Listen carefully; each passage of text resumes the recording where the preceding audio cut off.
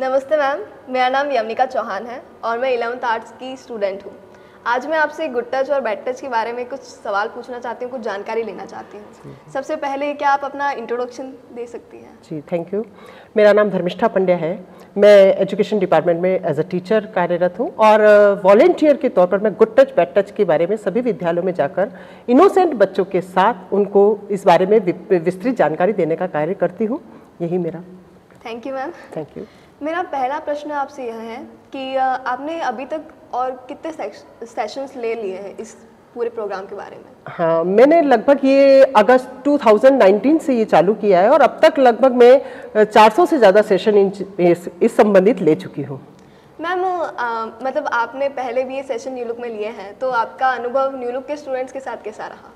बहुत sharp minded है। और सबसे पहली बात तो ये लगी कि मुझे ऐसा नहीं लगा कि मैं इन बच्चों के साथ गुड टच बैड टच को लेकर पहली बार बात कर रही हूँ। बच्चे सारी जानकारियाँ जानते हैं, जबकि इतने छोटे छोटे हैं इनोसेंट हैं, फिर भी इन्हें, इनकी टीचर्स ने बहुत सारी चीज़ों को या इनके पेरेंट्स ने अच्छे से इनको शेयर कर रखी है। तो ये सारी बातों को खुलकर अपने साथ बात कर रहे हैं कि what is good touch what is a bad touch और उसके बाद हमें क्या क्या एक्टिविटीज़ करनी चाहिए। तो मुझे लगता है कि स्कूल से बहुत ज़्यादा इनको इन्फॉर्मेशन इस बारे में दी जा रही है और ये ये awareness it's must necessary ma'am इस चीज़ के बारे में क्योंकि हम स्टूडेंट्स के साथ तो सेशंस लेते रहते हैं काफ़ी। और आपको भी स्टूडेंट के बारे में तो पता होगी। बट अगर आपको पेरेंट्स से अगर आप पेरेंट्स को कुछ बोलना चाहे या उनको कुछ सलाह देना चाहे तो आप क्या दे सकती हैं? बिल्कुल, आपका ये क्वेश्चन बिल्कुल सही है। मुझे ऐसा लगता है, मैंने बहुत से कि जैसे यहाँ पर तो मुझे ऐसा फील नहीं हुआ, पर मैंने जहाँ पर भी सेशन लिए तो वहाँ मुझे ऐसा लगा कि इनके पेरेंट्स ये बात करने से हिचकिचाते हैं कि हम बच्चों से खुल के इस बारे में बात करें क्योंकि बैक टच में हमें कुछ शरीर के ऐसे अंगों को डिस्प्ले करना होता है। हमको बैक टच में कोई रिलेटिव्स भी हो सकता है और उसके क्या क्या दुष्परिणाम हो सकते हैं, इसके बारे में जानकारी देने के लिए माता पिता हिचकिचाते हैं कि हम बच्चों से ऐसी बात कैसे करें, कहीं बच्चा कुछ गलत ना सीख जाए। जबकि आज बच्चा सभी कुछ जानता है। मोबाइल का ज़माना है, हम आगे बहुत बढ़ चुके हैं तो हमारी ये आधुनिकता के इस युग में अगर हम अपनी छोटी सोच को लेके चलेंगे कि हम बच्चों से कैसे बात करें तो हम बच्चों के साथ उनके बचपन से खिलवाड़ कर जाएँगे। तो मेरी सबसे बड़ी पेरेंट्स से ये रिक्वेस्ट है कि वो उनके साथ बिल्कुल खुलकर इस चीज़ों को बात करें, क्योंकि बच्चा बस में, ऑटो में, स्कूल तक जा रहा है, स्कूल के वॉशरूम को यूज़ कर रहा है प्लेग्राउंड में जा रहा है। हमारे साथ भी किसी प्लेस पर जब वो घूमने जाता है, तब वो अकेला होता है। तो उनको और अपने रिलेटिव जब घर पे होते हैं तो वो अकेला जब रहता है, क्योंकि आजकल दोनों पेरेंट्स जो माता पिता होते हैं, वो कामकाजी होते हैं। तो वो कामकाजी होने के कारण बाहर जाते रहते हैं तो उन्हें ये बताना होगा कि घर में अकेले होते हैं तो उन्हें किस तरह से इस चीज़ों को भापना है कि कौन उनके साथ कब गलत कर सकता है।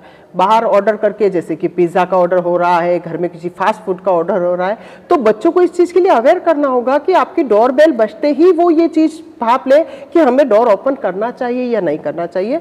तो मुझे लगता है कि पेरेंट्स को सबसे ज़्यादा ज़रूरी है कि इस चीज़ के लिए अवेयर हो और बच्चों से खुल के बात करें।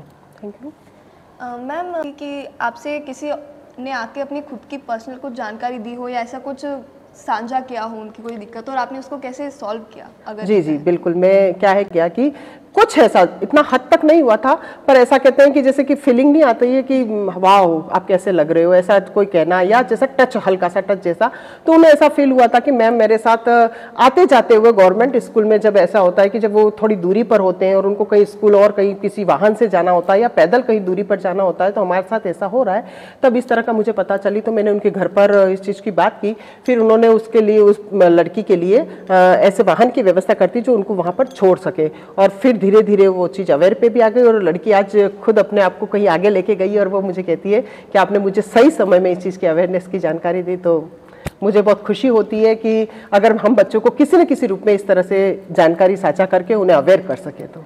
थैंक यू क्या स्थिति देखती हैं? अभी तो बहुत भयंकर स्थितियाँ मैं देख रही हूँ। मुझे ऐसा लगता है कि महिलाओं के साथ क्या ये आपको एक अगर बताया जाए कि 100 परसेंट यदि हम अपना सर्वे करते हैं तो 53 परसेंट बॉयज़ के साथ भी ऐसा बिहेवियर, मिसबिहेव होता है। पहले तो मैं कहूँगी कि इसकी शुरुआत हमें घर से करनी होगी। माता पिता जितनी अपनी बेटी को बाहर सुरक्षित जाओ, अपने शरीर को ढक के जाओ, किसी से खुल के बात मत करो, हंसो मत। ये सारी जो चीज़ें सिखा रहे हैं ना, उससे कहीं ज़्यादा अपने बेटों को सिखाएँ कि उन्हें अपने अपने साथ पढ़ने वाली लड़कियों के साथ किस तरह से बात करनी चाहिए, किस तरह से उनसे बिहेवियर करना चाहिए, तभी हमारा समाज सुरक्षित रह सकता है, क्योंकि विकृत मानसिकता ही इन सारी ये जो घटनाएँ घट रही हैं उनका कारण होती हैं। तो सबसे पहले माता पिता को ही अपने घर से संस्कार और सभ्यता देने का कार्य करना होगा तभी हम समाज को एक सुंदर समाज और सुंदर बचपन निखार सकते हैं। थैंक यू मैम आपकी इतनी महत्वपूर्ण जानकारियों से हमारे जो यहाँ पे स्टूडेंट्स बैठे थे उन सबने बहुत अच्छा कुछ सीखा। धन्यवाद ma'am thank you thank you very much